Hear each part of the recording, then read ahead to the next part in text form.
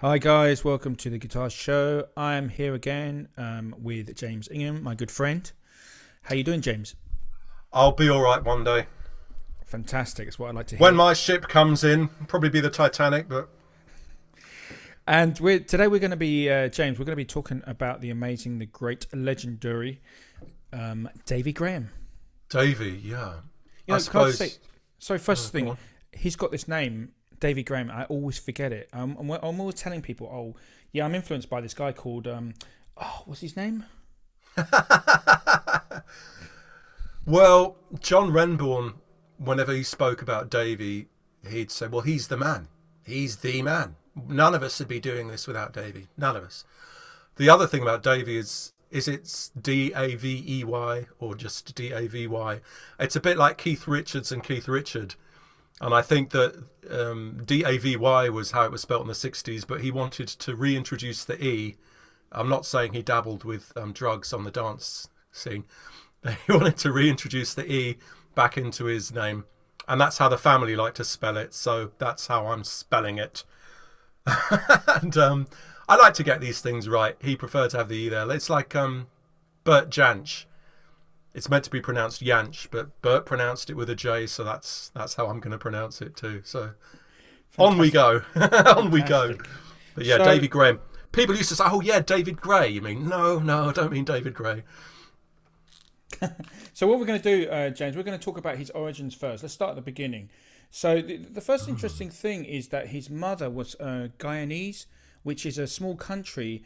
In because you know my father was from South America, so um, Okay. you know there's um, I think it's called French Guyana or something because there's a Ghana obviously in, in Africa. Yeah. Guyana is in South America near Brazil. I think it's right at the top. It's a place where you get anacondas and incredible spiders. I was actually once offered a gig there. Yeah. And, and stupidly, I didn't do it, and I, I, I turned it down. I don't know why on earth I did, but You'd probably When- still be there with about 100 children by now. But yeah. So so he was actually he was half Guyanese and half English, Well, it's, it's Scottish, actually. Scottish. Sorry. I'm going to get pedantic. His father was a Scot and his mother, yeah, was from Ghana. I remember that um, I think his his his Holly, who he married in I guess 1970 something, early 70s. She tried cutting his hair once. He kept his hair very short at a time when everyone else was growing their hair really long in the 60s and people used to say, you know, this this really incongruous guy would appear dressed in a, you know, sort of dinner jacket almost, really looking great, but the hair was always really short whenever he grew his hair, it was really natty, right? So that's that again would that's suggestive of uh, sort of Yeah. his Yeah. background and his his mum. And she tried cutting his hair. Holly tried cutting his hair, and it was just mad. It was wild. It was impossible to get the scissors. And it was. I remember one night when he was playing at um, in London in a little club, he turned up with a really awful hat. I mean, I've got some shockers, but he had a terrible hat on, and it's because he'd been for a hair a haircut. I've got the worst haircut I've ever had, and I'm not going to let anyone see it. So that's why I'm wearing this stupid hat. You know, it's like with nail almost. This stupid hat. Um, no one could cut his hair. So uh, we're we're gonna Yeah. we're gonna fast forward to like when he first started, you know, picking up the guitar. And I, I want to mention, I want to mention to you. I don't know if you you you, you must know because you're such a knowledgeable guy. But there's a guy called Steve Benbow. Steve, Steve Benbow. Steve Benbow, Benbow. yeah. Sorry, so there you go. Yeah, yeah. Um, and he he actually um, he was um, you know somebody who kind of took folk guitar from kind of the strumming style to more of a Yeah. you know more of a soloist style and he he was kind of a little bit maybe 10 years older than David Graham and and and he kind of showed David Graham his first chords you know and and this is an interesting thing is is Steve Benbow had was in the army um could speak four languages including like Mauritanian and Creole or something and and he'd actually been to Egypt and and he told he kind of uh, instilled this notion of, of of kind of bringing influences from different musical you know um, ethnicities to Davy Graham. And I think that's why Davy Graham I'm going to quote you now what Steve Benbow said. He said Yeah. Davy this kid used to sit in the corner at rehearsals and watch says Benbow and every so often he'd say could you show me that chord and of course Yeah. we did we had Yeah. no idea he'd become so good. It was unbelievable what happened. He went away to Morocco, came back, and blew a hole through everyone. That's that's very true. That's very true. I I I saw Steve.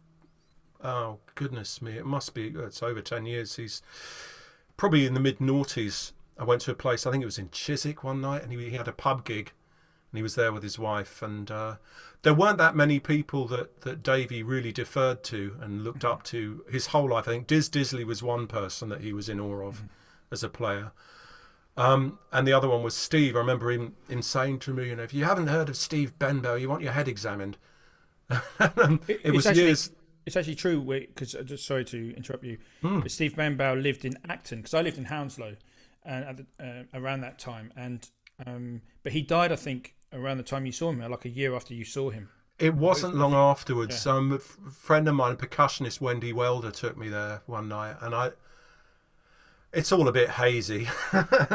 it was a hazy night, but it was a great night. And I, Steve was telling me that because I mentioned Davy to him, and he said, "Oh, Davy at that point in his life was ringing them up at sort of three in the morning and just talking non like you know we didn't understand a word he was saying. He he just decided to ring people up and." um he he's, he retained that love and respect and admiration for Steve right up to the end. And like I said, there weren't that many people that really impressed him. Um, you know, people would talk about Bert and and John Renbourn, and but I think Dave Davey, you know, I think he knew that without him they wouldn't have done what they were doing. You know, he, he- someone was talking about one of Bert's mad, magnificent instrumentals, and he said, "Well, you should listen to this tape of me in 1966." If Bert can play like that, then I'm a Dutch uncle. and Bert and John would definitely agree. Yeah, Davies, Davy was the guy. I, the story I heard because I think he grew up. Um, he was born um, miles away because his mother was evacuated. I think the house was bombed. Actually, that's right. The house was bombed, and he so she was evacuated he was he was in the womb and, and the and the bomb took a the, the house took an almost direct hit. I'm probably getting this all wrong, but there was a documentary that I was taking part in, which I hope will see the light of day soon. Um, and so the director took me all the way up to Davy's birthplace in Leicester, Leicestershire, and I was expecting some horrible dump, and it was almost like a palace. Um, beautiful old building, which is now a very posh hotel, but it was a place where you know, people, mums could go and give birth safely away from the bombs of the Blitz. Davy was born November 1940. And uh, so, yeah, his mum was evacuated there. Um, he was born there and then grew up in fairly considerable poverty. She had, um, he had a half brother, Nicholas, um, younger brother and sister, his sister Jill.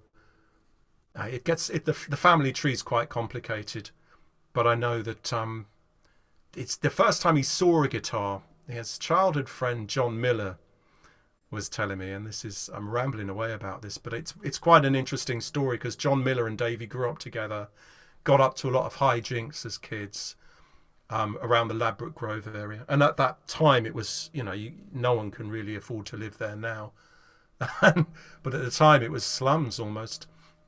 So he and Davy and his friend John would sort of get go around the streets of Notting Hill, and Davy was quite tall even when he was young. So he'd, he'd go and buy cigarettes. He could buy a packet of Woodbines and get away with it when he was about 12, 13 years old. And the streets were lit with gaslight, you know, lampposts, right? Do you want to tell everyone what And- woodbines are? To the They're American, cigarettes. They're, they're American friends. cheap cigarettes, I guess. So he'd buy a packet of Woodbines and he'd have nothing to light them with. And so John Miller was telling me that Davy would literally, he was so athletic, he'd shin up the lamppost right to the top and light the cigarette from the flame at the top of the lamppost, then shin right the way down.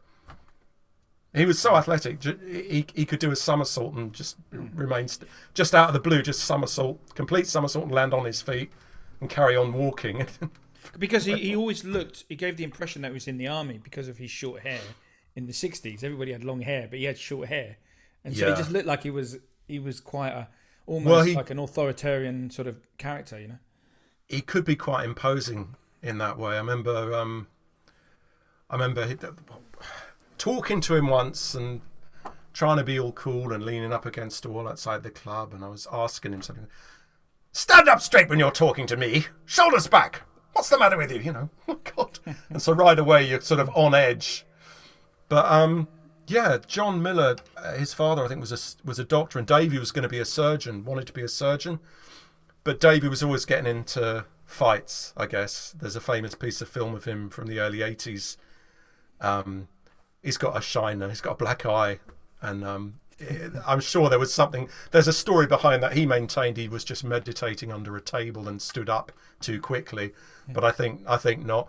But no, he was he, he got into a fight when he was. I think he was at the, the Lycée in South Kensington as a lad, and got into an altercation with another student, and ended up with a pencil through his eye, went right into the pupil. So he was blind. He was blinded in one eye, and um, Crazy. so that that prevented him from becoming a surgeon.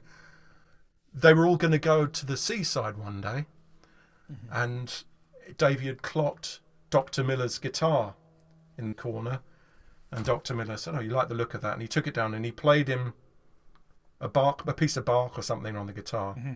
They were all going to go off to the seaside together, and Davey said, "Do you mind if I just stay here?" What? No, I, I wanted to stay here. By the time they got back from their day trip, he could play the piece of music. Is, is this the, the audio that you sent me? No, You because no, that's no, no, no. This, this was something that he learned. He he would play Bach pieces, um, which again, a lot of the guitarists in the '60s picked up on that. This guy playing p- Bach on the guitar. Paul McCartney famously learnt the same piece that Davey used to play, and it evolved into Blackbird. Because right? that know, style of finger picking. So Davey influenced people. There was usually a point of connection between him. It was like Donovan taught the Beatles how to fingerpick, but Donovan got and, and Bert and Nick Drake they all got their stuff from Davey. Yeah. Um, I want to say um, that really, if so many people have sort of been influenced by him and, and never really mentioned him. But without knowing it, yeah, but the obvious is Jimmy Page, of course. the there's something wrong with the audio here. I can't quite hear what you said. There's no need to sweat. No, I, I don't know. That I think it's pretty well documented, and it's kind of um, she moved through the fair and and and Blackwaterside, which you know, I don't really need to point out the bleeding obvious, do I? But you know, uh, but I think a lot of people were because my, you know, even my mum said when she was my mum was a real hippie, and Yeah. she did everybody, but everybody that started guitar, literally the first songs they'd learn would be House of the Rising Sun, and Angie. That's I think that's true. And um yeah, Angie was was a real lady and she was Davey's friend. They loved each other. They were really really close. And um and it became this it was such such a hauntingly lovely piece of music, isn't it? I think it's my favorite piece of guitar music. Can you play a little bit? Um? Can well you play us a little bit. yeah. The thing about Angie was that he'd never play. He would refuse to play it. He'd get really? asked to play it, and one night he was, you know, will you play Angie? No, no, I'm not playing Angie. Oh, please, no, no, don't ask me to play that. It's not fair. And I thought that's an interesting comment. And I found out years later that she died pretty much the year before, and he it really upset him. And I think he's he always loved that girl. They were they were like this. They used to knock around together a lot. And she was just this lovely, lovely, and a friend of the family. The family all loved her, and so she was a real person. And this is what you forget. You know, people used to ask Essie Rogie to sing "My Lovely Elizabeth," and he didn't want to because it, it, it was a true story about being jilted, and it upset him so much he didn't want to sing it. But Angie's, um, it's just that descending bass line, and um,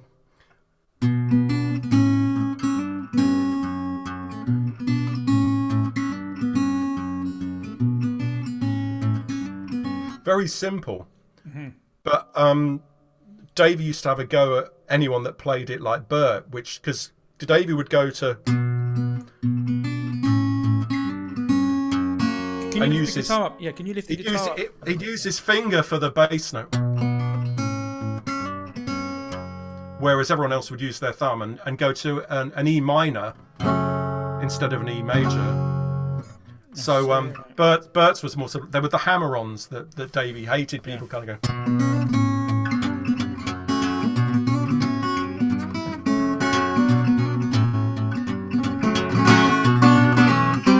You know, it would get very kind of violent and and thrashing. And Bert's version, Bert's version, Bert heard it. Um, in fact, Bert was taught to play the guitar by Davy's sister Jill Doyle, who worked in the Troubadour Club in Earl's Court. Let- let- Let's go back a bit. So it's all very incestuous. So, So I Burt think Yanks, do, you- do you want to give a bit of context about Bert Jansch? Where, where, where was he born? He's he a, a Scots a Scotsman, and um, so there's the Scottish connection. Um, it's all it's almost like a family. I was reading about Bob Marley and Bunny Wailer and how they ended up being related through you know various. There are various points of connection. I know that Davy's Davy's niece Cindy lives in Notting Hill, and her father's actually Archie Fisher, who was a Scottish folk singer.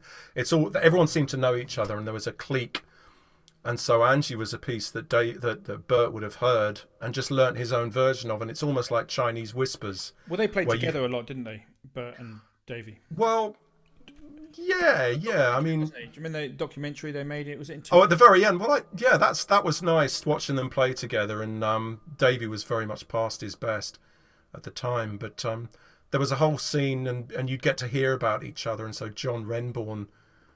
Um, he wanted to get involved, and Soho and that part of London was was the hub, and Davy was sort of a bit of a, a legend.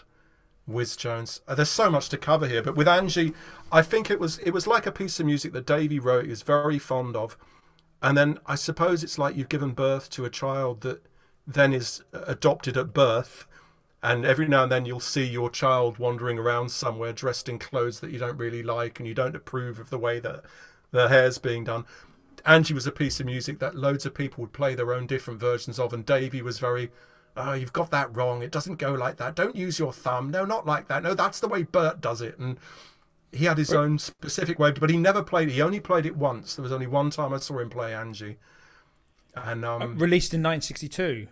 That's you know. So well, it was it was on it. Yeah, it was. I think he was working with Alexis Korner, um, and they that was when there were so many gigs around. Davey would, would play in a restaurant in Earl's Court. He had a residency there at Nick's Diner, um, and there were so many gigs. I think that he and he and Alexis used to work together. Davey was was even in an early version of John Mayall's Blues Breakers. You know, going way way back, playing a bit of guitar and I think there was one there was one story I heard where Alexis was so busy that he double booked himself. So Davey went and played Alexis's gig for him as Alexis Korner. And they both they both listened to Broonzy and they they they both sang in a similar style and I think I don't know if it's true but it's a lovely story. And then so that was that EP I think was it called 34 AD and Angie was on that and I think he'd written it in Paris. I think there's a part because Davey was travelling all over the place when most people were struggling to get out of their own towns, and he'd, he'd been So he- done it. Yeah, I mean, he'd been to Algeria and Morocco, which is really important because this Mm. is where the the whole. Um, if I get my guitar, this is where the whole uh, DADGAD Yeah, sort of thing comes from, and because really, what I I first heard that this is kind of the first.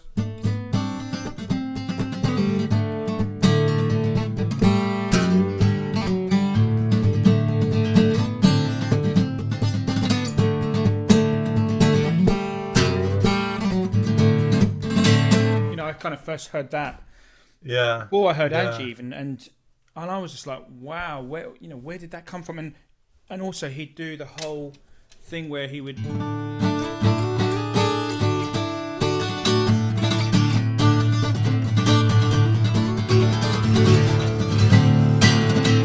That whole thing, the drone, yeah, yeah. you know, with the um, Lydian, you know, all these kind of, and, and apparently he went to Morocco, he went to Algeria, you know, Mm. was playing with oud players. Mm. You know, he must have just experimented. You know, maybe he Yeah, he de- he developed he developed that tuning DADGAD to to you know facilitate the playing of that kind of stuff. And I think if you're a trailblazer or you you know you're at the point of the arrow, it's quite a lonely place. And then you, you you've kicked the door open, and then everyone else follows in behind you and innovates and develops. And I mean, I think it's worth pointing out that he died in poverty and he'd had to sell his last guitar. Now And, and he did just say, did you see him ever perform in the? It was some uh, Chinese restaurant or uh, some kind of an Asian restaurant and he had little. He had a residency. Apparently, this was his last gig. He was playing in some, some, or maybe that was before the documentary. But he was literally pay, playing for next to no money in some kind of a Chinese restaurant in Soho. You know, the, you know, in the, Mm. It wouldn't it wouldn't surprise me. I didn't see him for, for years and years, but I think that you know he. It's a shame that he, he didn't get the recognition. I think a bit of a bit of money for some of those um, Zeppelin songs. You know, the arrangements were so specific and unique and exact. He would take the template of an old folk song, um, like "She Moved Through the Fair," but what he did with it was it was virtually his own piece of music.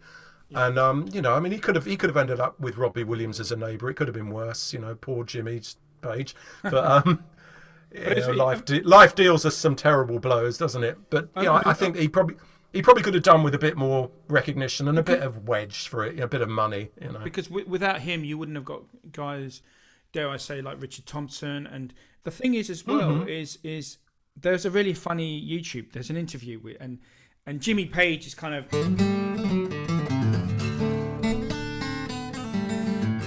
doing all this stuff. And and the interviewer says, "Oh, where did you come up with that stuff? How did you get that stuff? Where did you learn it from?" And Jimmy Page could have just said then, David Graham, but he didn't. Yeah, He didn't yeah, say it. He I know. say anything. It was such a shame because it was he had many opportunities to say, "I got this from David Graham. This is Well, a lift off David." you But he, you know, Uh, it's a ser- somebody that's a serial something or other. That we don't have to talk about him really, do we? Um, so yeah, the poor old Davy.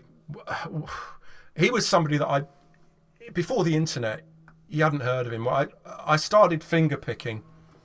I'd been learning the guitar for about ten years, and I think I'd I'd got into the kind of.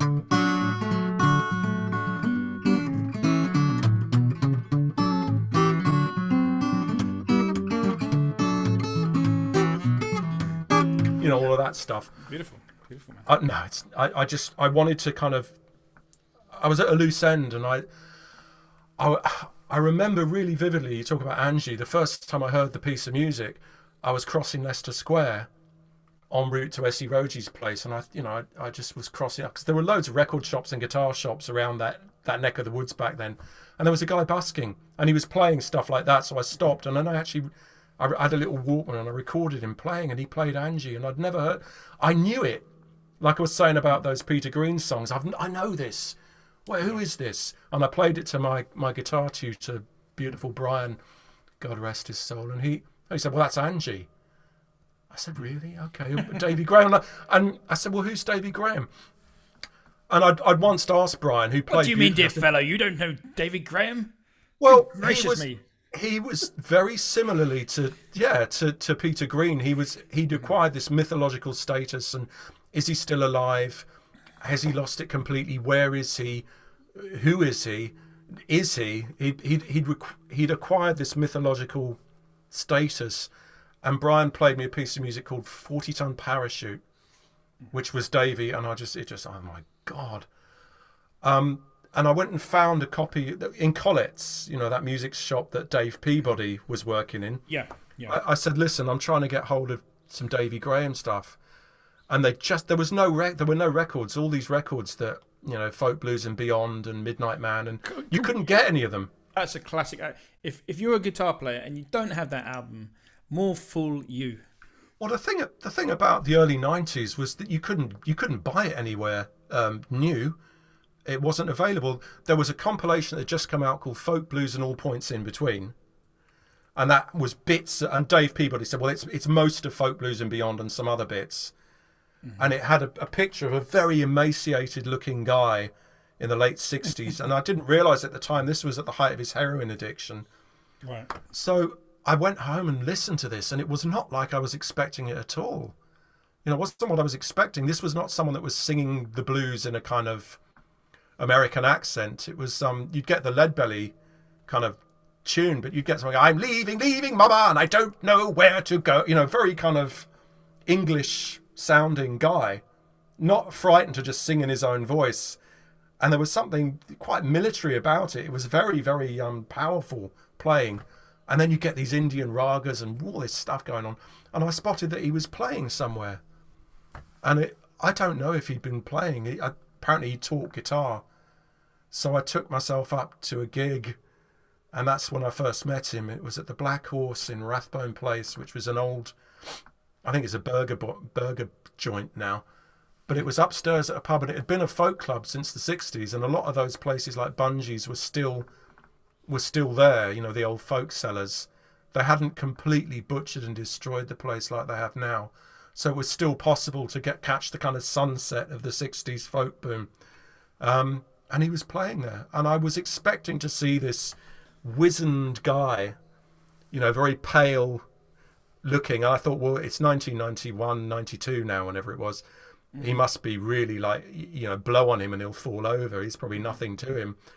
I was expecting this really sort of um, pale, emaciated guy, and there was this bronzed, tanned, muscular in a, and he was wearing a tracksuit, skimpy t-shirt, and sandals. Absolutely nothing like I was expecting him. He looked mm-hmm. great. He was probably about the age I am. He was early fifties, and he played really well. He played he played great, and um, but people were a little bit intimidated. I didn't want to talk to him almost afterwards. I thought he cut a lonely figure just sitting there, and I thought, well, I'm. I'd heard all these things about him. He's crazy, and I'd asked John. I tell you, the guy I asked was John Renbourn, who I'd got to know. I, I used to love going and seeing John, um, I love the Pentangle records, and um, you have a photo with him, don't you? You, you sent me. Um, probably up there. Yeah, I think I probably. Is there's probably a couple. Of... I'm going to be. Uh, am I going to be Essex now and, and get the wrong photo? Is that he and I used to? Oh, that that's right yeah. That that's an early one. That's me. That's at the Half Moon in Putney. Right. I look like I've got um, um, a little pixie coming out of my head there. I think that might be the first time I met John. And I'm look 20 years old there with lots of hair. I had the pleasure of seeing him, um, seeing him perform. My my good friend Tim Pels, who's who's kind of my uh, my boss mm. on the, the, gigs I do, and uh, mm. he he got him in. And um, my friend Tim is a great classical guitarist as well as many okay. other things. And you know, the guy's a genius mm. on guitar. Mm. John. Well, John. John, I think, got his first sort of foot in the door as a player by listening to Davey. and I remember I, I said to him after a, after a gig, I said, look, I'm, I, I need to learn. Can you can you teach me? He said, well, I live in Devon. I'd love to teach you. I said, well, do you think I should try and go and see Davy Graham? He said, oh, Davy, yeah, yeah, man, yeah, you should go and see Davy. Davy. And, he, and he, he looked at me, now this glint in his eye, John Renbourn. He said, um, he's a bit nutty. like that. But it wasn't, it, it was said not it was said not like a warning; it was more of an endorsement. You know, he's a bit nutty. You know, like you'll have this will be fun. He was almost like Rick Mayall. He's a bit nutty, but um, I think that was his way of saying that you know if you go for guitar lessons, I know people that went for guitar lessons with Davy, and he'd just put a record on and go to the pub. you know, he I, I, those legendary stories about he'd turn up for a gig with a dog on a piece of string, and to an all nighter at the cousins, and he'd come on the stand. He'd, he'd spend you know ages explaining, "I'm looking after this dog for a dear friend of mine who's a, you know, blah blah blah blah blah." He wouldn't play a note, and he'd just talk about the dog, and that'd be it. Okay, great, nice, Davy, lovely. But yeah, so I went and saw, I went and saw David. And I just went and I thought, well, I'm just going to talk to him, and uh, he signed the album and had a chat, and he gave me his number I remember saying, "Do you have a piece of paper?" I said, "Well, just write it on the sleeve." Oh, surely not, you know. So he gave me his phone number, and I used to give him a call every now and then. And I, I was asking him where he was playing one night, and he told me about a place called the Sols Arms, which is long gone. Mm-hmm. It was um, it was near Warren Street Tube, I think. And he was he was somebody that wouldn't just give you directions to a place. He there'd have to be a lovely story attached to it. But of course, you know, the, the Sols Arms, if you, what you must do when you're up there is go down Drummond Street because there's a delicatessen there that serves the finest selection of Adriatic condiments in London or the southeast. I thought, what? I should have been taking notes. You know, everything was wonderful with him. There was something to there was something to enjoy in everything, and um, I never did get to the place where the Adriatic condiments were being sold. But he could never answer a question straight you talk to him about something, and I had the savvy to to just listen. I realised I wasn't going to be able. You know, when someone's so intelligent, You don't meet that people that, whose minds are like that. I've been looking at, uh, you know, he was like the Sherlock Holmes character in the Benedict Cumberbatch, where he's he'll read somebody and he'll just be able to describe everything about them, and he'll just go into one. And you, you've got to be writing it down because there's no way I could I could spar with him. His knowledge, his reading, the stuff that he read, you know, you just would listen. And I wished I'd recorded it, you know. So James, let's talk a little bit about his career. Tell me about his career. Where where was he going um, when you met him? You know, uh, what you know. Just tell us. You know what how. I you, you, because and I just want to go back to the '60s, just first of all, Mm. because I want to tell you about Paul Simon. Yeah, yeah, yeah. because I grew up in Colchester, Essex. I'm from Essex. I'm an Essex lad. Hundred percent. Oh, you'll have to tell me about Colchester. I think my son Joseph's going to be uh, moving there, and he's not very happy about it. It's a nightmare. It, there's t- there's ten men to one woman in Colchester. He he didn't mean it, Joseph. It's going to be great. I just want to say, Joe, there's ten Honest. men. There's ten men because it's a garrison town. Yeah, it's a garrison. so there's ten men to one woman. Okay, think about that. Think about that. So anyway, uh, let's. Poor Joe. That's that's going to be a great place to turn eighteen. Brilliant.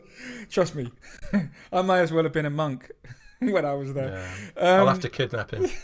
So anyway, um, basically, uh, in, in um, Paul Simon had a surrogate mother in Colchester.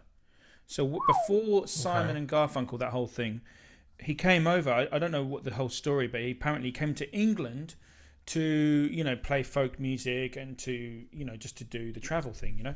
And mm-hmm. he went around a lot of clubs, a lot of folk clubs, and he actually went Yeah. to played in Colchester at folk clubs, you know, and, and he had a mm. surrogate mother there who I think he even visited not long ago when before she died. This is probably twenty years. Yeah. But anyway, he went into London and he went into the famous club where Davy Graham was playing. w- he played at the Troubadour. yeah, Davey Davey was really impressed. You know, he said he he sang like a like an angel. He was beautiful. You, you know, you could hear a pin drop.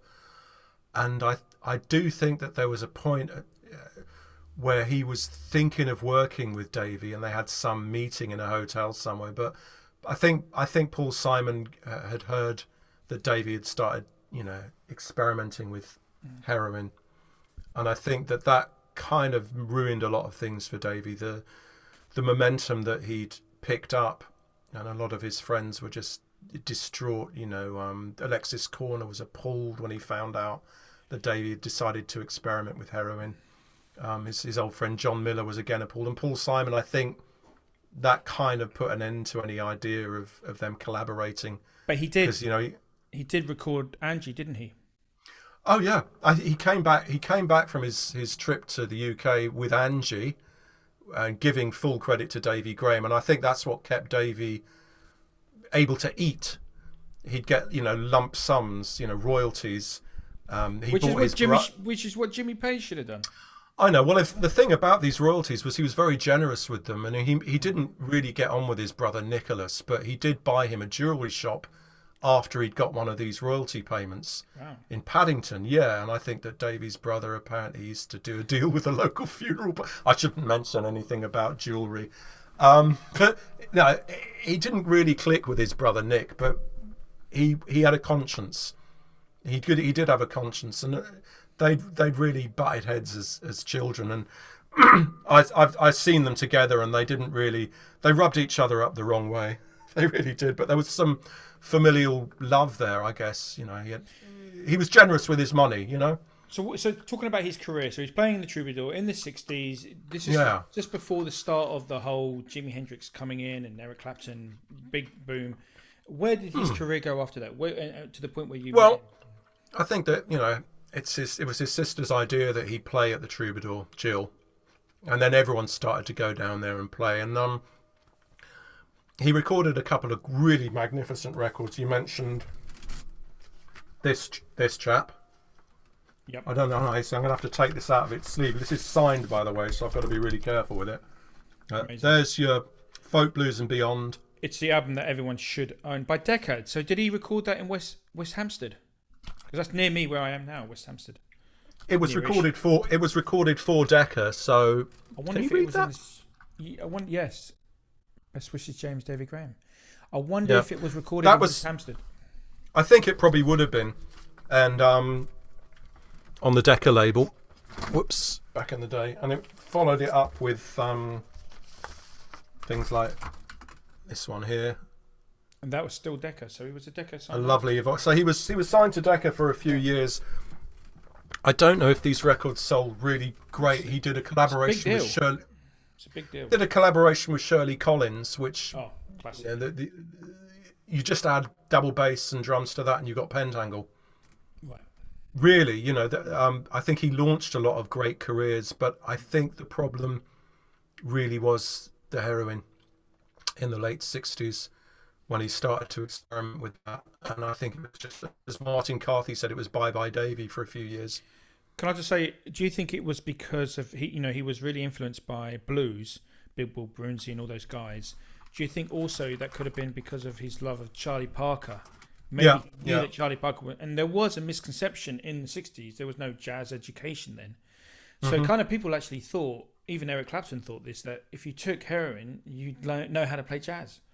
It Yeah, it's- put you in that, it- you know. It's absolute rubbish, and a lot of people have, have fallen into that. Unbelievable people like Charlie Watts in the 80s, you never would have thought.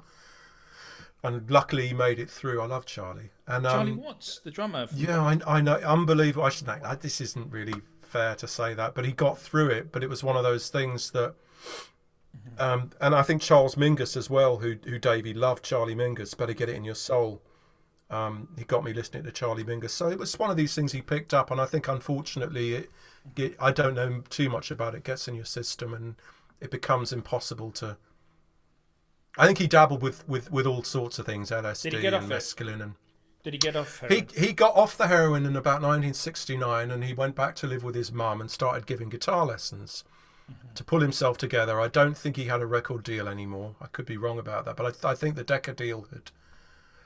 A lot of people had taken what he'd started and run with it, and he'd kind of been left behind.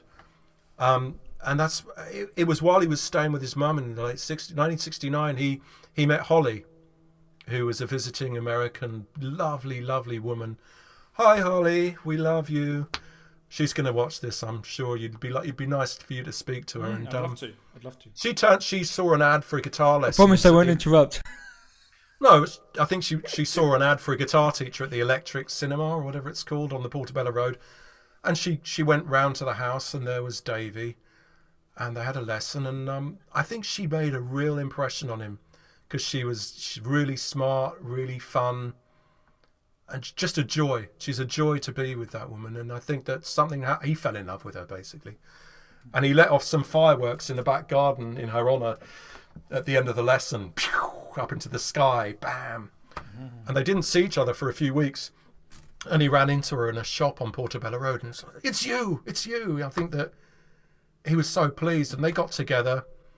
Um, and she got him out of London, away from the temptations of the city, the drugs, you know, all of that whole scene. And they moved down to Deal for a while to stay with Davy's sister on the south coast, and then ended up in Sandwich in Kent, running a little folk club at St Mary's Church. there. And that, yeah, that was a good time in his life. I holidayed there when I was a kid. Do you know it? Uh, Sandwich. Is there a place called Sandwich? There's a place called Sandwich, and there's a there's also a place called there's also a place called Beer. And uh, if you get a stick of rock there, it says this is the only rock with beer running through all the way through it. 'cause it says beer on it, right?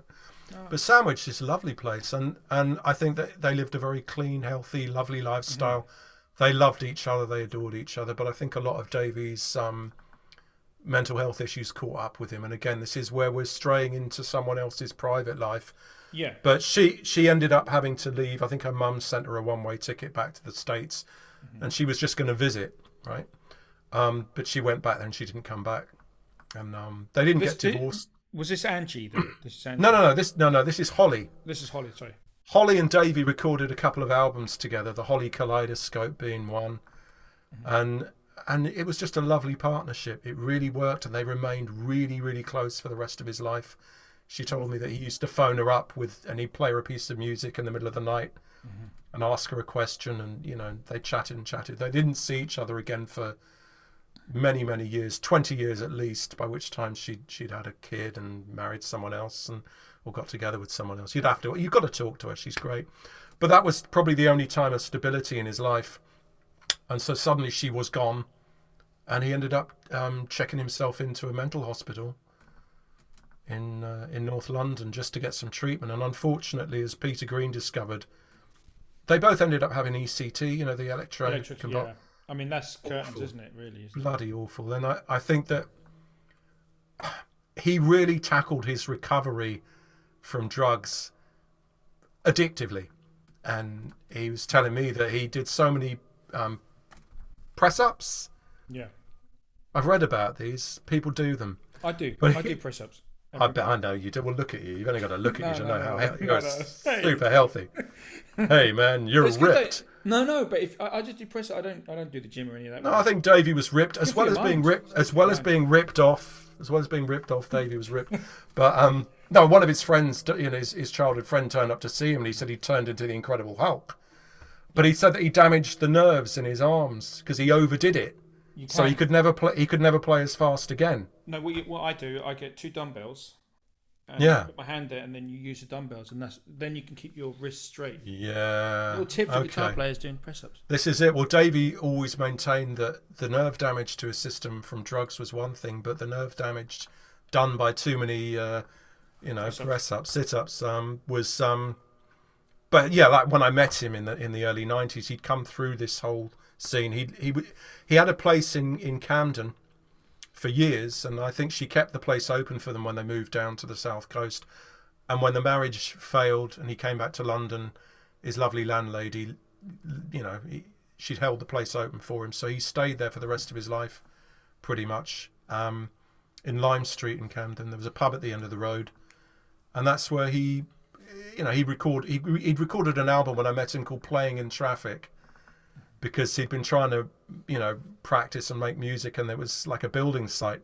They were already starting to do what they've done with with Camden, and he was just all he could hear the whole time was drills and, you know, the noise. But he seemed really in good shape when I saw him, and um, so he suggested to me that he was going to get a residency in Denmark Street in the early '90s, and Andy's guitar shop, which is now Hanks. You know Denmark Street's Yeah. right at the end of the road. Yeah, yeah. It's that red that, that little red shop on the end with the little Yeah. alleyway I that think used they to be changed there. the name. I think they've actually changed the name of that now. It probably. Well, Andy was Yeah. the guy that ran it for years and then ran away. I don't know where he is now. I mean, I hope he's all right. But Mm. it was an think amazing a bit- shop. It was an amazing shop. uh, on had three all those- floors. Yeah. it had all those old um, Japanese and old English guitars. Do you rem- And I tell you what, when I went there, th- this is so another anecdote. When I went there, um, that band, um, the Libertines, had just been in. Mhm. Remember the Libertines? This is this Yeah. is going back ages. Yeah. And they'd just been in and they nicked a guitar.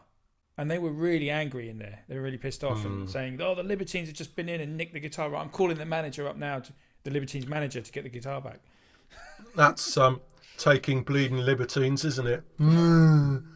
Oh dear, dear God, help me! But no, well, Davey used to hang out in there as well, and I think that there was a, a medieval forge building at the back um, that was just used to store things in, and Andy was using it as a storeroom. And he was taking a look round there, and he decided maybe it'd be a fun place for us to just jam the people that worked in the shop after we've closed the shop on a Friday night and this just evolved into a club and it was tiny. I mean this cupboard is small. It was kind of like this back in the day and they called it the forge. And it later got a license and they expanded it and it became the 12 bar club which it was there until a few years ago. Yeah. but i was there right at the beginning and the first person davey was telling me you've got to come along. They're starting this club. Come along for the first night and see what you think. Be a good place for you to, to play. And i remember going down there and um, for me it'd be a bit like 10 years earlier being 12 13 years old and being able to go and spend an evening with john lennon. I'm not kidding. No, and no, it was bizarre. It was bizarre to be in there with four people in the audience, and I'd turn up early, and there he'd be. And I remember just just going and sitting sitting with him in this dark black walls with a little there was a little furnace, uh, sort of fireplacey bit from where the forge had been, and they they put a they built a little sta- tiny little stage um, there, and just talking to him about music and and life and Did he ever mention? and part. part go on. Sorry. Did he ever I'm just- mention, Did he mention, ever mention anything about? Can I just say, guys? Yeah, uh, I've had a few complaints uh, on my YouTube channel because um, uh, when when I'm when I'm because we're not actually I'm not interviewing James. We, we're having a chat, and and when James is talking, I get so excited that I want to I want to come in with something. And apparently, I, I got told off a few times. In, in Yeah, no, I've heard I've heard about the complaints you've been getting for getting too excited online and coming in, but we won't go there. yeah. So, um, did you ever Oh, ask him when you were chatting to him? Did you ever ask him about Morocco, or, or did he ever talk about Morocco? Because I He, well, he he advised. He was telling me what I should do, where I should go. He was always good at giving advice, and he, I think he told me to, you know, Turkey would really suit you. It'd suit your temperament. It would suit your complexion. You'd like the food, and um, Tunisia is another place you'd you'd you'd really enjoy Tunisia. beautiful, love it. and again, you know, I like I said, didn't get didn't get south of Croydon. I never. I was listening, and part of me is thinking, "This is Davy Graham. Oh my god!" And then part of me is thinking, "This is interesting. I really should be taking notes here." Well, can I just You say this? Because I was very influenced by David Graham and Brian Jones. I felt that Brian Jones has kind of taken, you know, well, Brian Jones ended up in Morocco and recording um, what was one of the first world music albums, as you know. And Yeah, and I kind of followed in their footsteps. And I went to Morocco and spent um, a couple of years there, you know, learning the music. And oh, that's amazing. Whereabouts Really- were you? everywhere I made, I made an album called Long Road to Tiznit, and that was my favorite place. Was a place called Okay. Tiznit in the southern part of Morocco Okay. and uh, but Marrakesh. I think um, I think uh, Davey went to Tangier, if I recall. yeah, yeah, Um, but um, you know, I've been everywhere. You know, Casablanca, um, Tafraoute, which are my. Um, uh, I think I've got a good friend um, as well. Uh, she's an author called Jane Johnson, and Okay. she, she wrote many books. And she she I met her there. And but anyway, um, the point is is that I felt it's a kind of real British thing to go to Morocco to get to, to learn about other cultures and learn about Yeah. music. And I, I, I really felt I was following in the footsteps in my very, very small way, of course, of Mm. David Graham and Brian Jones, and you know what I mean. Mm. Sorry, Well, yeah, no, no. I, I, I spent, a, I spent a couple of hours in, in Casablanca once in a, in a waiting room, waiting for my flight. We weren't allowed out of this waiting room, and all there was was a toilet. I'm not going to go into it, but I got food poisoning when I was in Marrakesh, and it was not a very good experience for me. You, if you go somewhere like that, you have to know someone that lives there that can show you the ropes and tell you, "Don't go here. You should go here." yeah, I recommend this. I don't recommend that. Like anywhere, man, you've got to you've got to know what you're doing. And I was very young and silly, and I didn't quite know what I was doing. And I, I, I kind of wished I could I could could have gone back with somebody like Davey that would have known.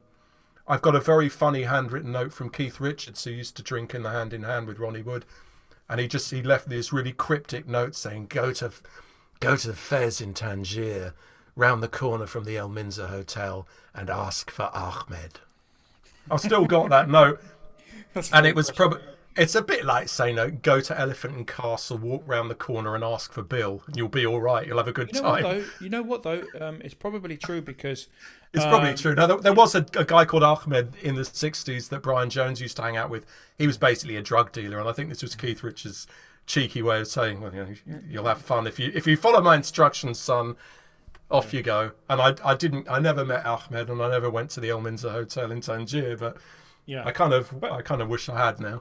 David David Graham was like if you talk to any '60s kind of megastar like Clapton or Keith Richards Mm-hmm. or any of those guys, they're all going to say David Graham. Man, that guy was a genius on the guitar. You know, Well, I they're think all the going to thing say is- all.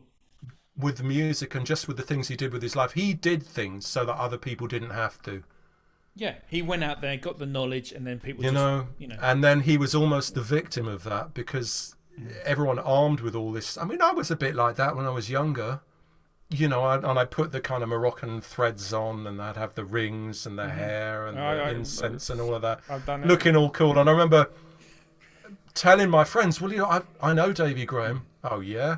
Yeah, and I, I- I go to this club, you know, and I bought about 15 of my mates along one night from the mm. pub to come and watch. And Davy was standing there in the in the doorway, and this is a good lesson. This is probably the best lesson he ever gave me. Was um, I was walking in and I saw him there, and I had all my friends, my gang, my posse, and I was there in all this looking really cool with the droopy moustache and all of this nonsense. And I just said, "Oh, Davy, hi." He went, and he looked me up and down, and in front of all my friends, he went, "Don't blame me. Give it up. And carried on talking to his friend. And I was like, oh god! Yeah. It's basically basically saying, don't dress up like this. Yeah. Because he could also tell if I'd been practicing or not. You've not been practicing. You've just been, you know, making yourself look pretty in the mirror. There's no point in doing that Yeah. if you're, you know. And, and he actually put his money where his mouth was, as, as it were. He was, he was a real put, deal, basically. He put the work in, and you know, there was a time when he really did practice diligently. He learned the classical guitar. That's something he did in the seventies when when he wasn't making any records. He decided that the classical guitar was the only way forward, and he never would play the steel string. Whenever I saw him, he never played a steel string guitar again. He always played a, cl- a classical guitar. because I saw him on a TV show doing Sunny, you know, which is a pretty, um, you know, it's got some changes in there, and he was Yeah. he was doing this crazy like, uh, you know, Oh my goodness, yeah. uh, like the chords and the melody at the same time, and I was Oh, just like it- ridiculous. it- it's like what are the, I, well, I remember when I was a kid listening to, you know, I'd never touched a guitar and looking at the Beatles and thinking, this is just amazing. This is like, mm. and it's slightly spoiled when you actually learn to play the guitar because then you're looking and thinking, oh, that's pretty easy. And to this day, the thing I love about listening to him is there'll be points in his playing where I'll just go, I haven't got a clue what this guy's doing. And I love that. I'm, I'm just enjoying the, I'm enjoying the music and I'm not worrying about whether I'd be mm. able to play it or not because there comes a point where you think, mm. This is just, it's way out of my league. I'm never going to be able to play that well. He, he brought DADGAD to the world of guitar. yeah. He did that. That yeah. just that one thing would have been enough. You can't patent it. And I'm sure these days, if he had a, you know, ruthless manager, right, uh, I think he probably could have patented the whole thing and made a lot of money. He was but true, he wasn't, he, he wasn't in it for the money. And I think that he found a lot of joy in life where people with millions just don't. And he, I think he was aware of his addictions and his demons. The, the other thing he did, which, um, which quite tickled me outside the club one night. I'd been playing on stage with, and I had Vicky Stilwell, who became very famous dog um, expert. It's me or the dog. Do you remember that show? And she'd turn up in her leathers and that, get angry with people on council estates for giving their that- dogs is- ice cream. Is that the one that used to to smack the dogs and get, uh, you know, the really posh lady who was always on Crufts? No, that I Who don't that? know. You remember there was that No, lady that's- who? Barbara Woodhouse. That's it, Barbara Woodhouse. No, this is this. Is, Oh. No, no. Victoria did did her thing in uh, very much uh, sort of more attractive looking person, but she was she was she sang really well. So I got her to come and sing, so that me and my mate Tom could concentrate on the guitar playing, and we were doing pentangle stuff. And I was actually on stage at the twelve bar, and I just was you know heads down, and she's starting to sing stuff.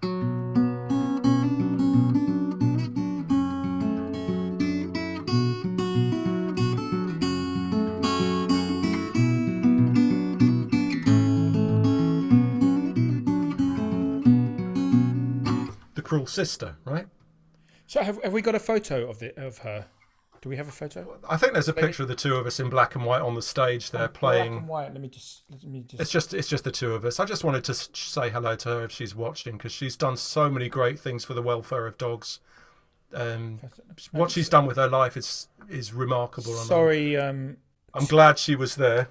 sorry to associate her with the um, Barbara Woodhouse. Sorry about that. No, she's. I'm not. I'm not an expert on on. Here we go. That's us. So that's the forge and that's the stage, and it really is. It's so small. That's me looking, trying to look like Davy Graham there.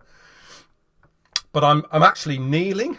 That's your Yamaha it- uh, Ibanez guitar, isn't it? Yeah, that that's the one. And I was kneeling on the floor um, next to her because there was simply no room for another chair. And there's just behind our heads is the arch of where the fireplace used to be, and it was called the forge.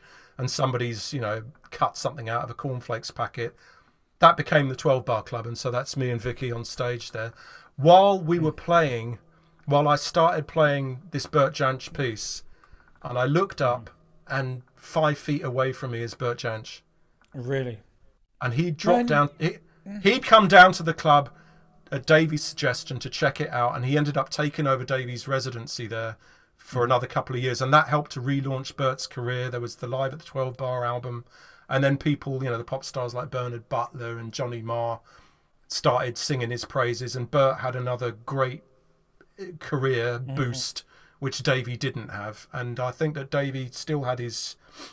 I remember that night I was outside the club and um, you know, in in the days when I smoked, and unfortunately, you know, I wished I'd never had. But Davies, I, I Da- Davies, with Byington. yeah, yeah. Well, I was stood outside. I don't remember if it was loaded or not, but Davy was there, and he'd done the whole kind of, you know, always slouching. Just there he is, all robust, muscular. You know, he looked like some Australian guy that had just come out of the outback with this amazing tan. So this is this is David Graham playing. Where, where was he playing? In That's at the black. That's the night I met him at the at the um, Black Horse in um, Rathbone Place. It's above uh, what was the Black Horse pub, and I think it's now a burger joint called you know, Dead Cows Are Us or something like that. I don't know. Can I say, uh, is this in Elephant and Castle? Is that that folk club in Elephant and Castle? Because No, no, no. This this is just off um, Oxford Street. Rathbone Right. Place is where. yeah. Oh, what's that? I I ought to remember that. Uh, Ivor Mairants um, shop is is on that road. Oh right, okay, yeah, I know. That. And then further- Oxford Street, Ox- Oxford, just Yeah, and f- and further down that road is the folk. Oh, what's it called? I'm I know, it, terrible. I know it, yeah. Where they sell all the folky instruments. Yeah, Um, got Hot Goblin, Hobgoblin. Hobgoblin is at the end of that road. Really recommend going to Hobgoblin. Brilliant. If you uh, uh, um, Americans, if you ever come to London, go to Oxford Street, Ivor Marriott, very famous shop there, and then just down if the it's road. Yeah. if it's still there, you know, I, I don't know if Ivor's is still there, but we're stood outside the, stood outside the club, and Davies kind of dressing me down, and he grabbed the cigarette out of my mouth, right, Right. and I thought he was going to throw it on the floor and and Mm. crush it with his foot, and he shoved it in his gob. and then and then in one he had these amazing lungs this really big chest Yeah. and he did the whole thing in you know like god kind of the way god breathes at the what's that film the you know and he did this thing of just like took the whole lot in did it all in and then one of his eyes started to dance and kind of look up mm-hmm. and the other one was looking straight at me and i didn't know that one of his eyes was glass right Oh really? So- like Raikuda. well, he got well. I don't think it might have been. He got blinded in one eye, so I'm, I didn't know which eye to look at. And he just Yeah, went yeah, yeah. into this. He started ranting at me about something or other, and I really wished I'd recorded it because it wasn't the ravings of a nutcase. This was just amazing stream of consciousness stuff. Mm. And I just again, I I was so young and silly. I just didn't. I, one was aware, one was in the presence of someone remarkable. It was just this untapped resource of amazing wealth and knowledge and wisdom. I think And, he'd um, learnt the oud uh, in this photo. He's playing the oud here, and I think he'd learned. Uh-huh. in, I think maybe that was an Algerian because I've got a lot of Algerian friends that play oud, um, and they live Yeah. actually a few Algerians that live in London, and Yeah. maybe it was his trip to Algeria. I think he went to Algiers. I think he seemed to feel more comfortable playing those kind of things than the guitar. And like I said, I never saw it. I never saw him play a steel string guitar in all the time I knew him. And one one time I was waiting for him to turn up in in in Andy's guitar shop. Lovely summer night, and um, the shop was closed, but I, I was going to be playing that night as well, and we were waiting for Davey. And I'm, I'll never forget. And it's one of these lovely memories of you know, like I was saying about people that you just know that they're someone special. And this black cab pulled up in the street outside, and I looked, and it was Davy, and he was in there. It was a bit like this room, mm-hmm. inside the the the the passenger bit of the compartment. Mm-hmm. At least five different instruments, and he's crammed in there. And he's got a couple of guitars. He's got an oud. Some are in cases, some are just loose. A mm-hmm. couple of mandolins. Um, tons of stuff, and I just went running out to help him. Hmm. And I was, and I'm I'm bringing the stuff in, and are you all right? He said, well, I just I couldn't make up my mind, and I wanted to play this, and I wanted to play that, mm-hmm. and he didn't have anyone to help him, so he got a cab from Lime Street in Camden Town down to to Denmark Street, and um and I just remember looking out, and he's trying to pay the cab driver, and he'd probably been in the cab with the guy telling him that he had an engagement tonight at a wonderful new place, and mm-hmm. Telling him all the stories about the club and it's it's near this place where they used to load people up to take them to the Tyburn tree for execution. And they'd say he's had his last drink, he's on the wagon. That's where that phrase comes from. You know, he just he knew all this stuff. And um I just remember the cab driver, and you never see this in London. Cab driver just said, "Nah, it's all right, mate. It's on me. Have it on me." really. Waved waved the fare because he Maybe knew. maybe he, maybe he knew who he was. Even if he didn't know who he was, he knew that he was somebody. If you're going to let someone off your fare, Yeah. this guy was he's clearly struggling. He's probably not got a lot of money. He's somebody Which is important. crazy. How He's can he not have- important, you know. I mean, this is what this is what is crazy. The situation is, he was living. You know, he didn't have much wealth, but you know, he he, he kind of like, he, he- you know, just that tuning, DADGAD. He brought that to the guitar world. You know, all these guitar players sort of were influenced by him, and and he was struggling. It's just ridiculous. in some ways he was a lot of he had good neighbors mm-hmm. and people loved him in that street and they all james hamilton was a neighbor he's a really nice guy. And they all kept an eye out for him. And i think also his rent was possibly capped. There's no way he could have afforded to live there you know now with with the rents the way they are in london and people people always took it upon themselves to try and look after him and help him i don't know if throwing loads of money at at someone is the answer, but I do think it's really unfair that he didn't get a the recognition and b just the remuneration that he deserved. Because we've all got to have money to live in this world, whether we like it or not. That's Absolutely. maybe not, Yeah. you know, it's not the way it should be, perhaps. But And and he he was Um, born he was born to just play guitar. That's what you know. I, he was a troubadour. I- You know, uh, I mean, I mean the, the word troubadour is it's got a bit of a history to it, obviously, but mm, he was uh, in the sense that he was he was just going to be playing from one gig to the next, go from one gig. That was his his life. yeah, One I think so, next. and I, I, I, and I think also he was. Luckily, he was aware of how important he was, and I remember one of the last times I saw him in that that part of my life, um, when I was still sort of uh, youngish, early twenties, and I remember I was working in Wimbledon. This is one of the one of those nights when I couldn't get the night off work, and I was working an off license, and it closed at ten o'clock in Wimbledon Village. Davy Graham was booked to play at the Troubadour, where he'd done his first ever gig with John Renbourn on the bill, and I was thinking, I've got to get to this. And I remember just cashing up, pulling the shutters down, locking the thing, running down Wimbledon Hill, getting on the tube train, doing that thing of trying to hurry up train, hurry up train, running down the Brompton Road to get to the Troubadour. And I'd sent my friend Alistair along Crawford, along, you know, tell me what happens. You know, you start without me. And apparently they hadn't had a really good night. David had not been playing great. He was struggling, and John Renbourn was on fire. He was at the peak of his powers and playing all these meticulous, beautiful pieces. Mm-hmm. And it had been like a chess, genius. Genius. kind of like a chess game, though, really, because I think that they both still had enough of an ego, not not in a nasty way, but they were both very aware of being at their best. And Davey had been struggling all night, and it looked like John was going to win this game of chess. I turned up just in time to get down into the basement to see them struggling through something or other. And then they were taking it in turns. And John said, Well, I'm going to play one of my pieces. John Renbourn mm-hmm. played something like Lady Nothing's Toye Puffe immaculately and beautiful and with a harmonic thing at the end. And everyone's oh, like, Whoa! Yeah.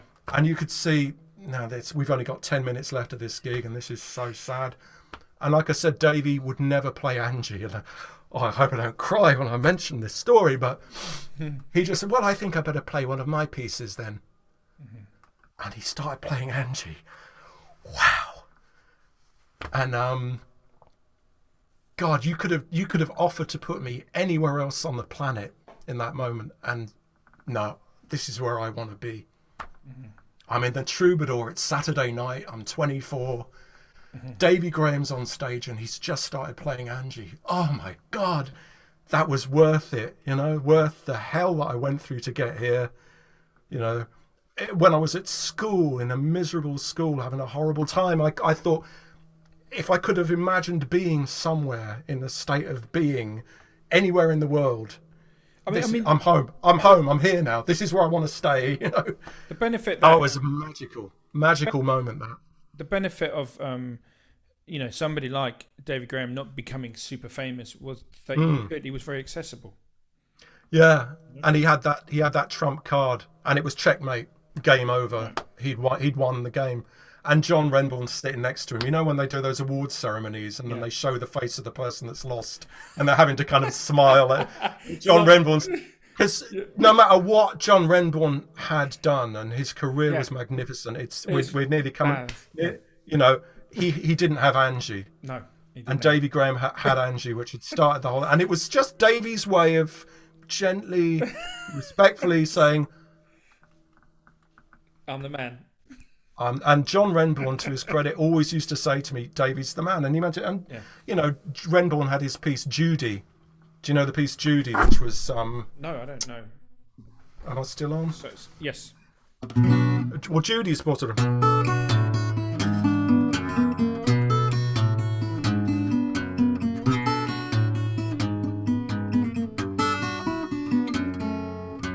something like that. It's very, which is it, it, I mean, it's a female was- name and it's similar.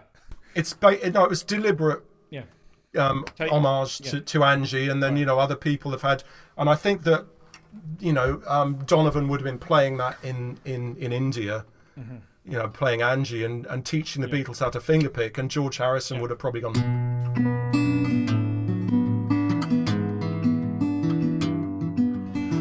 While my guitar gently weep.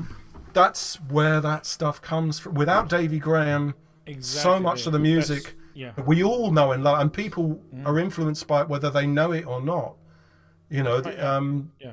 I mean, even Bert Jansch used to play that, you know, what I was playing earlier. The oh yeah, Bert Jansch yeah, used, to, used to yeah. that. Well, I mean, he he, he took an old um, traditional song, Blackwaterside, Mm-hmm. and and Davy-fied it. He basically put it his guitar and DADGAD and did his own, again, specific, unique, and completely original, almost Mm. uh, copyrightable version of it, which maybe other people got hold of and made a bit of wedge, you know. Um, but there we go.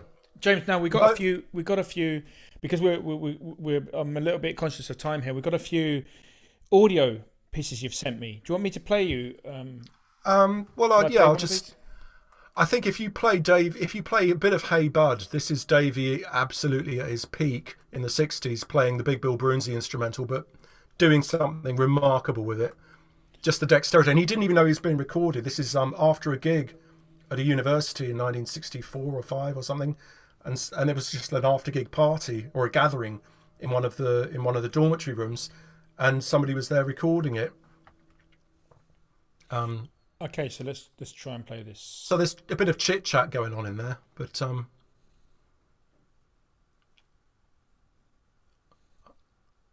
you'll have to turn it up. Yeah, I can't hear it.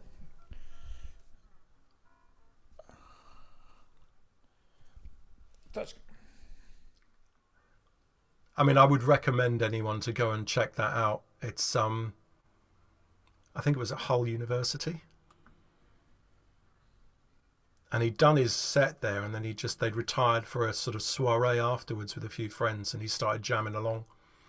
I don't think he knew he was being recorded, but this was just him in, in full flow. And again, I don't know. You we seem to be having technical problems. Do I need to turn off original sound, or what do I need to do? no, no. It's okay. Okay, I tell, I tell what. Right, so we can hear this, James. James, you. Uh, I don't know why you're not hearing this, but I, I can. For some reason, Fine. Let me let me play Okay. it play it again. Um, this is incredible guitar playing, guys. This is Yeah. amazing. This is a Big It's a it's a simple hey, piece hey. of blues music, but Yeah, what it's he does hey with it. hey hey Big Bill. Yeah, yeah. yeah. Let's let's hear this again. I I know. I hope Okay. hopefully this is going to come. I'll through. I'll shut up as long as people can hear it. That's all that matters. Okay, so let's play it again. Here we go.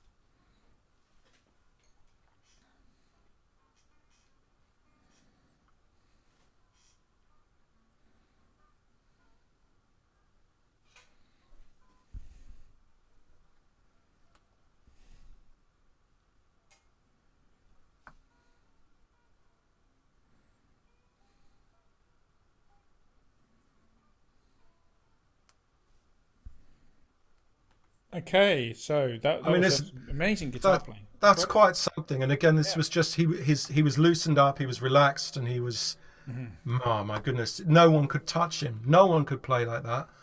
Um, and that's as a guitar player where I just sit back and go, "Oh, hallelujah!" You know, I I might as well just give up. But this is such a lovely thing to listen to. Just the pure the pure joy, the the life in that in that music. He was playing nylon string there, wasn't he? It sounded like nylon. No, no, no. This is that's steel string. I think. I don't know. Okay. I think so. He he picked up the um. There's a picture I've got of him here where he, in the 70s, he got into playing. The the nylon the nylon strings and, and he wouldn't play anything else beyond that. So, so Um, what year was that? That that, that piece? You, That recording's from the from the 60s. Oh right, I see. Okay. You know, that's that's that's him at his absolute peak. Um, it's available on CD. I think it's called Live at Hull University or something like that. Wow. And then I recorded a couple of um, just gigs that I went to. He would play a Bach piece, followed by a Fats Waller tune, followed by a song from the West Country, followed by something from Afghanistan or something. You know, he without missing a beat, and it wasn't pretentious. He just he didn't really recognise borders. Let's he just listen- loved great music. You know. Let, let's listen to a little bit of this uh, Bach because I'm quite interested in this. So I'm gonna. Okay. Let, Okay. It- Just it's quite a long piece. So just play a little bit. Yeah, yeah. Um, let me just see. Hopefully, guys at home, you're going to be able to hear this. Let me just do this. Yeah. Here we go.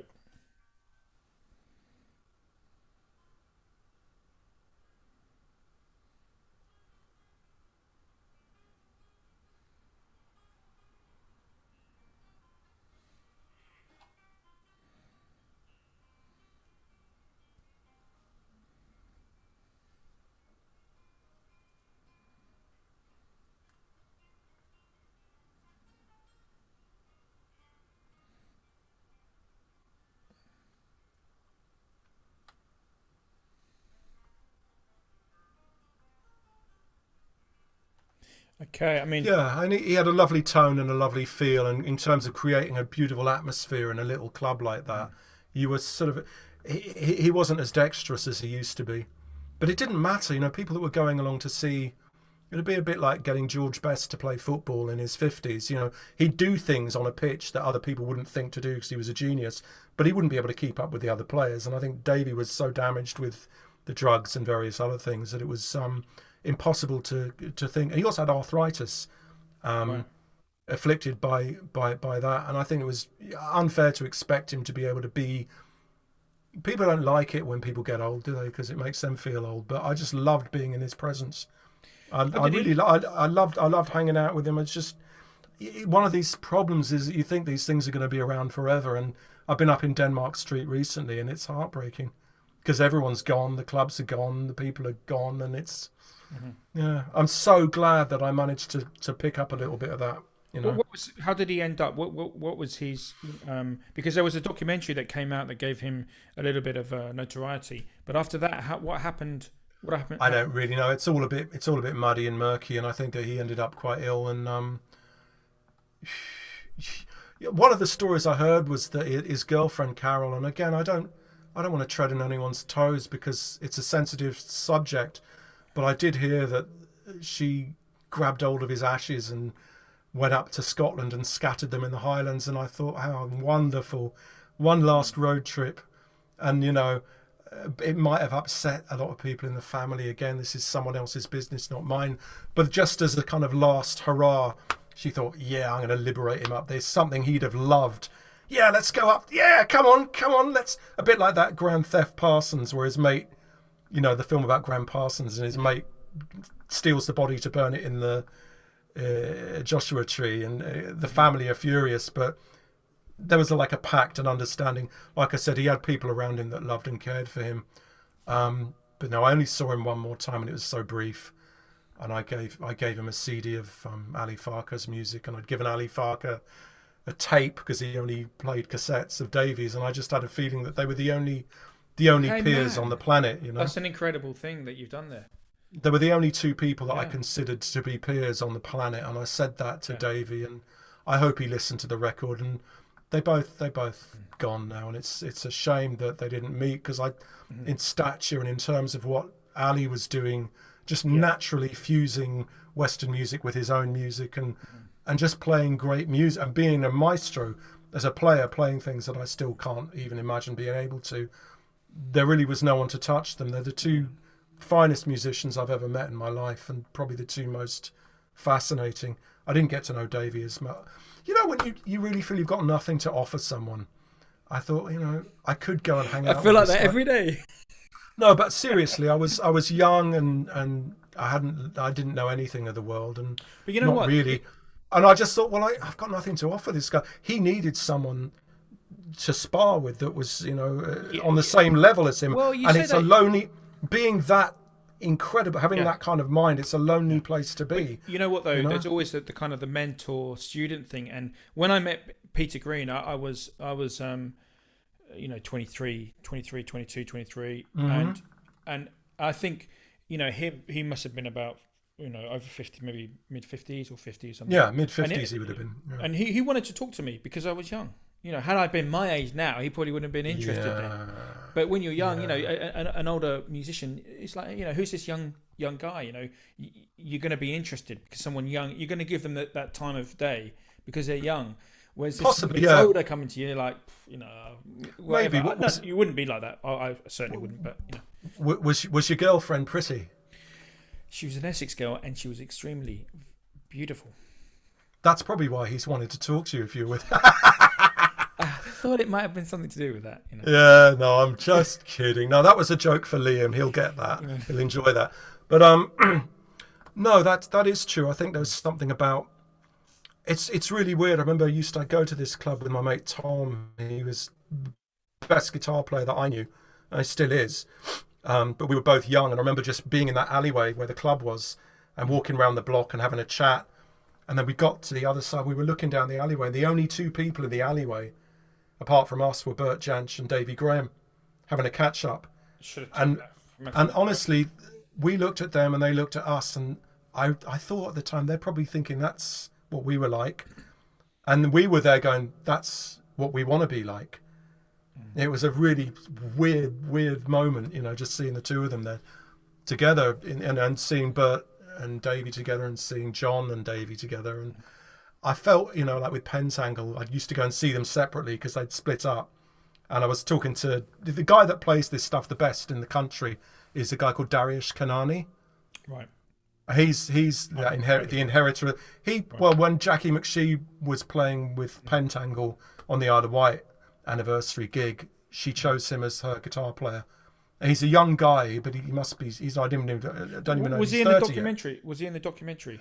No, no, no. This no, he wasn't. But he got to know John Renbourn, and John mentored him and taught Right, him and looked after. Just in the last couple of years, we're coming up to John's anniversary um, next week. He'll have been gone for six years. And Darius was a young guy that went along, and John gave him the torch almost. And if Yeah. you hear Darius playing now, Right. he's just an astonishing player. So the music continues. We'll put a link. We'll put a link in the comments. I think he's someone that you should chat to if you want to. If you want a top level Yeah, guitar love to. Love player. Yeah. he's somebody that will be able to play you these pieces, and Yeah. and it is like a responsibility, and you've got to have a clear head and a conscience about it. And he's he's a, he's like the three of them in one. You know, he's an, he's living in Leeds, so I've got to go and hook up with him soon. But he's someone to talk to. Um, but yeah, it, it was like catching the tail end of something wonderful, and it was like catching the tail end of those guys in the in the nineties and going to their gigs. It was a bit like I used to always turn up at parties when they were just finishing. Mm-hmm. And you could tell this had been a great party. You could see the carnage everywhere. People lying all over I, the di- I place. didn't. Get, em- I didn't even get invited to the party. the empty cans, the mascara running because all the girls, their boyfriends have got off with all of their friends, and someone's playing "This Is the End," you know.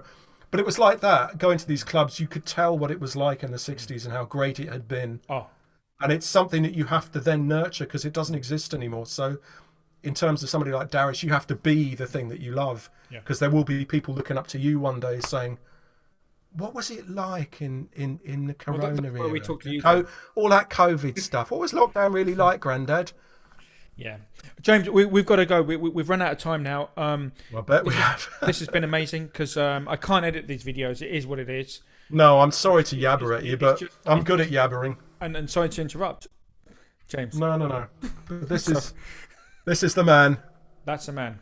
There he is. And uh, luckily, you know, his I think you, it's still possible to get hold of cool- some of these cool things fella. on, on vinyl. And yeah, he was he was a nice fella. So there's so many more things I could say about him. But I did I did love him, and um, I'm so glad to have met these people because it's now, when th- the way things are now and how depressing it all is, to have that as a resource in here, it's somewhere I can go to at night and just remember I was there, and and You there. you know there were good times, and good times will come again, and you know Well, next time we got and we we got the music to to enjoy.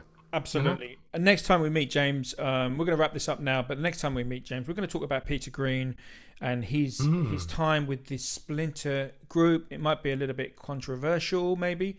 I think it'd be good to talk about them and know- and We're not going to make His- it. We're not going to sensationalize it, though.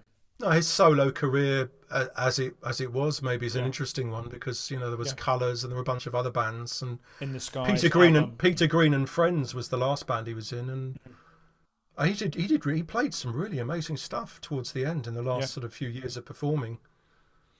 So Yeah. that that's it's going to be an amazing chat. We're going to meet up next week, and we're going to continue these little chats. And uh, I'm going to continue interrupting your flow as I normally do. No, it's Yeah. all right, but I just I just yeah I, I, want I want You know I'm going to get wa- again.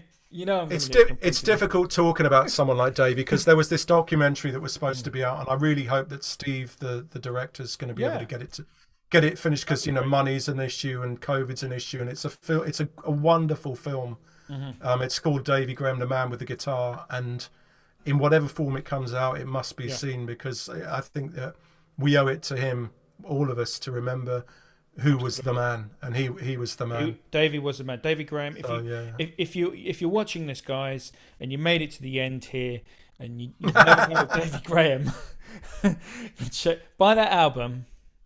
Do you want to show that first album? Do you Well, want there's um, to show the, the folk blues. folk blues and beyond. This is the I album think- you need. This is no. This is Oh, it's down here. Hang this, on a minute. This is the album you need to have in your collection if you are Well, a guitar yeah. player. Well, there's there's folk blues and beyond, and then there's also some really good compilations. There's one called A Gentleman and a Scholar, which is um, Right. a compilation of sorry, a compilation of different different That- tracks. that- there's a lot. Yeah, that's that's the album though. You know, There's a lot of stuff available online, but I think it's it's I, I don't know who who the money would go to. Hopefully, it'd go to Cindy or one of his family members. Um, but yeah, it's important to remember. Okay then, guys. It's um, goodbye from James, my lovely Thank friend. you, thank And- you, mate. It's goodbye from me, and uh, we're going to see you next week, and we're going to be talking about Peter Green. So take care, guys. God bless, and see you next week. Goodbye. Yeah, keep the faith.